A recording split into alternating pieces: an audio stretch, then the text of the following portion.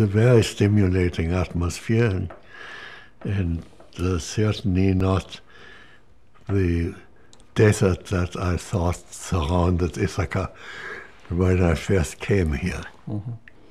And just to complete that picture before we come to another facet of the late 30s, uh, you now have how many students doing PhDs for you by the 37, 38?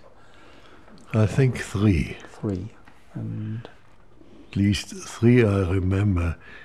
Um, Meiers, uh, Baroodi, and van der Lage, and then the two postdocs. And, and two postdocs. Mhm.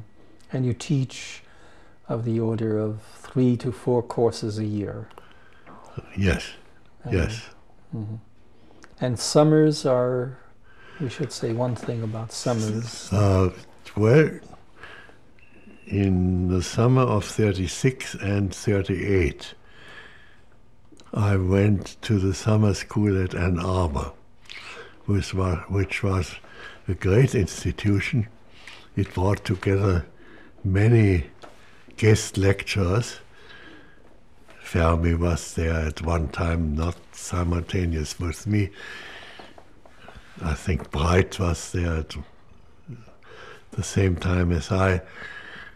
Ewald was there together with me in 38.